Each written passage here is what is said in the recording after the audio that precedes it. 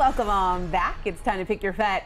There are always adorable pets in need of good homes, and you're about to meet one. That's right. This morning, Sherry Wachter is here from the Humane Society of Broward County. We got, we're starting off with a cat this time. We are indeed. So this is Reese, and he heard something very special was going on in England today, so he's wearing his crown.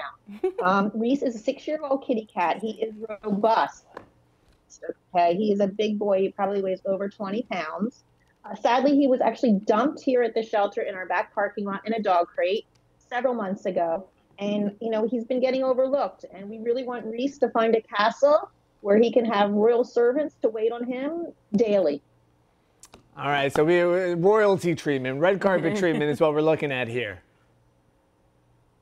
Absolutely. You know, I think Reese will do best in a home where maybe he's the only cat, or if you have a, a home that has several rooms, then rooms that he can go and have his own place to hang out because he's particular about his. And I'm sorry, did you say how, how old he is?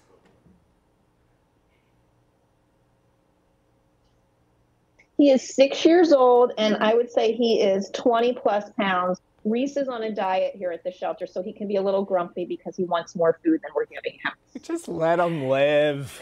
Sherry, he is cracking me up because he is relaxing.